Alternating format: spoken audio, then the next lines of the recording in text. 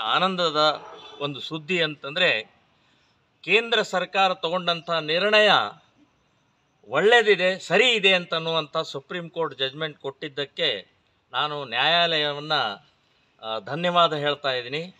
ಮತ್ತು ಕಾಂಗ್ರೆಸ್ಸಿಗೆ ಮುಖಭಂಗ ಆಗಿದೆ.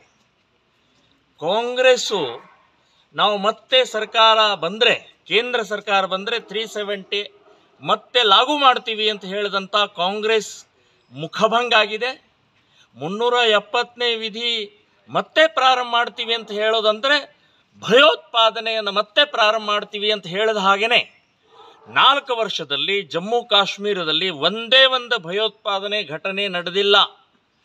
ಅದು ಎಲ್ಲೋ ಸಣ್ಣ ಪುಟ್ಟ ಬಾರ್ಡರ್ನಲ್ಲಿ ನಡೆದಿರ್ಬೋದು. ಮುನ್ನೂರ ಎಪ್ಪತ್ತನೇ ವಿಧಿ ರದ್ದು ಮಾಡಿದ ಪರಿಣಾಮದಿಂದಲೇ ಅಲ್ಲಿ ಶಾಂತಿ ಸುವ್ಯವಸ್ಥೆ ಅತ್ಯಂತ ಚೆನ್ನಾಗಿ ನಡೀತಾ ಇದೆ.